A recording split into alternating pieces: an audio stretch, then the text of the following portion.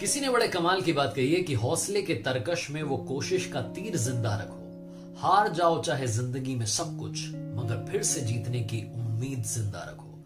Hi guys मैं हूँ RJ Kartik. एक छोटी सी कहानी, ये कहानी आपको सिखाएगी कि किसी भी काम में, चाहे वो पढ़ाई हो करियर हो गोल हो टारगेट हो, किसी भी काम में आप अपना कंसंट्रेशन किस तरीके से बढ़ा सकते हैं। ये कहानी एक फकीर बाबा की है, जिनके बारे में कहा जाता था कि वो किसी भी बात को बड़े ही इंटरेस्टिंग तरीके से इनोवेटिव तरीके से क्रिएटिव तरीके से समझाते थे और जिसको समझाते थे, उसको बात हमेशा हमेशा के लिए याद हो जाती थी। उनके बारे में बात धीरे धीरे पॉपुलर होने लगी, वो पॉपुलर होने लगे, उनकी ख्याति बढ़ने लगी और ये बात बढ़ते बढ़ते उस राज्य के राजा तक पहुँची। तो राजा बोला कि इतने महान बाबा हैं, जिनके बारे में इतने सारे लोग कह रहे हैं तो क्यों ना जाकर के उनसे मुलाकात की जाए? उसने अपने महामंत्री को बुलाया और बोला कि सारी सेना को तैयार कर दो। ढोल नगाड़ों के साथ में शानदार तरीके से हम जाएँगे बाबा जी का सम्मान करेंगे और थोड़ा सा ज्ञान उनसे लेकर के वापस आएँगे। महामंत्री ने कहा, ठीक है, आप जो करेंगे, हो जाएगा। एक दिन डिसाइड किया गया, उस दिन सारी सेना के साथ में लाव लश्कर के साथ में राजा साहब निकल गए और पहुँचे उन फकीर बाबा के आश्रम के बाहर। वहाँ जाकर के देखते हैं कि उस दरवाजे से ही वो फकीर बाबा दिख रहे थे। वो अपने बगीचे में गड्ढा खोद रहे थे। तो राजा को लगा कि कैसा बाबा है मतलब इतना महान बन चुका है, लेकिन गड्ढा खोदने का काम कर रहा है। अपने शिष्यों से काम करवा लेता। फिर उसने उस बात को इग्नोर किया और अपने महामंत्री को बुला करके बोला कि कुछ सैनिक भेजो और जाकर के बाबा जी को बताओ कि हमारे इस राज्य के राजा साहब आपसे मिलने के लिए आए राजा को ऐसा लग रहा था कि वो फकीर मतलब खुशी से पागल हो जाएगा, झूमने लगेगा कि राजा मुझसे मिलने के लिए आ गया। लेकिन वहाँ ऐसा कुछ नहीं हुआ। सैनिक गए, जाकर के बोले कि राजा साहब आपसे मिलने के लिए आए, लेकिन बाबा जी के कानों में कोई असर ही नहीं पड़ा, जो ही नहीं रहेगी। मतलब उन्होंने ध्यान ही नहीं दिया। सैनिक वापस आया आकर के बताया मंत्री को कि वो तो ध्यान ही नहीं दे रहे। मंत्री ने आकर के राजा को बताया, राजा को बड़ा बुरा लगा। राजा को लगा कि मेरा अपमान हो गया मतलब मेरी सेना के सामने बाबा मेरा अपमान कर रहा है। मैं यहाँ ज्ञान लेने के लिए आया था, मुझे अपमान मिल रहा है। राजा अब इंतज़ार करने लगा कि बाबा फ्री हो तो एक बार मिलकर के तो जाए। इतनी दूर तक आ चुके हैं। लेकिन बाबा जी अपना काम किए जा रहे थे, किए जा रहे थे, गड्ढा खोदे जा रहे थे। अब राजा ये सब देख रहा था, उसे बड़ा अजीब सा लग रहा था। उसने बोला कि ढोल नगाड़े बजाना शुरू करो। क्या पता शोर मचेगा तो इस बाबा को थोड़ा अकल आएगी। उसे लग रहा था कि बाबा फकीर वकीर नहीं है, पागल आदमी है। कुछ देर के बाद में ढोल नगाड़े भी शांत हो गए।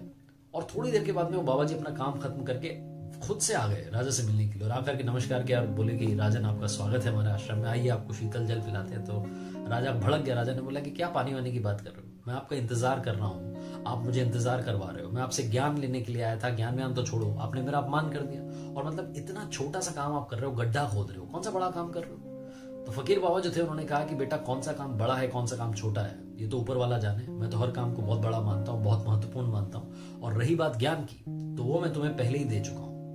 तो अब राजा के मन में एक जिज्ञासा जागी कि ये ज्ञान कहाँ दिया अभी तो बात ही नहीं हुई, अब तो हमारी बात शुरू हुई है। और बाबा जी कह रहे हैं कि ज्ञान पहले ही दे चुका हूँ। तो इन्होंने किस तरीके से मुझे ज्ञान दिया? वो जानने के लिए उस राजा के मन में बहुत सारे सवाल उठने लगे। तो थोड़ा सा ठंडा हुआ, उसने सोचा कि थोड़ा शांत होकर के पूछूँगा तो शायद बाबा जी बताएँगे। तो उसने पूछा कि बाबा जी, समझ में नहीं आया। मतलब आप गड्ढा खोद रहे थे, आपसे मेरी बात नहीं हुई। मैं आपका इंतज़ार कर रहा था, आश्रम के बाहर खड़ा था। और आप कह रहे हैं कि आपने मुझे ज्ञान दे दिया, कैसा ज्ञान आपने मुझे दिया? तो फकीर बाबा ने जो जवाब दिया, वो ध्यान से सुनेगा फकीर बाबा ने कहा कि बेटा जब मैं गड्ढा खोद रहा था ऐसा तुम्हें लग रहा था कि मैं गड्ढा खोद रहा था लेकिन ऐसा नहीं था। मैं गड्ढा नहीं खोद रहा था बल्कि गड्ढा खोदने की जो क्रिया है वो बन चुका था। मैं वहाँ पर काम करने वाला नहीं था वो खुद में जो क्रिया थी अपने आप होती चली जा रही थी। मैं इतना तल्लीन हो चुका था कि मुझे तुम्हारे किसी भी सैनिक की आवाज़ नहीं किसी ढोल नगाड़े की आवाज़ नहीं बस अपना काम किए जा रहा था। वो गड्ढा अपने आप खुदता चला जा रहा था मैं अपने आप काम किए कर, करता जा रहा था और जब तक वो काम पूरा नहीं हुआ मुझे पता ही नहीं चला। जैसे ही काम पूरा हुआ तो मुझे तुम नज़र में आए तुम्हारा ध्यान आया और तुमसे मिलने के लिए आया। उस दिन उन फकीर बाबा ने उस राजा को बहुत बड़ी बात सिखाई कि कॉन्सेंट्रेशन क्या चीज़ होती है। कई सारे लोग, कई सारे टारगेट्स बनाते हैं गोल्स बनाते हैं और सोचते हैं कि हम टारगेट अचीव कर लेंगे, लेकिन कर नहीं पाता है। पता है क्यों? क्योंकि आप वो काम करने वाले होते हो, लेकिन उस काम को ढंग से कर नहीं रहे होते हो। आप काम करने वाले तो होते हो, लेकिन वो क्रिया नहीं हो रही होती। आपका कॉन्सेंट्रेशन वहाँ पर नहीं होता है।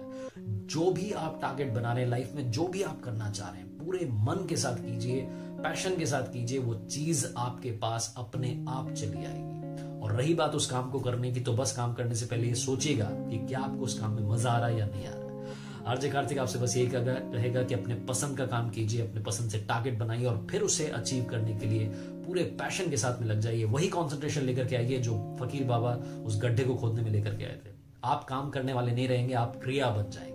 आरजे कार्तिक एक बार फिर से कहेगा, कर दिखाओ कुछ ऐसा कि दुनिया करना चाहे आपके जैसा। याद रखिए, हर सोमवार सुबह साढ़े नौ बजे मेरे फेसबुक पेज यूट्यूब चैनल पर देखिए एक नई कहानी।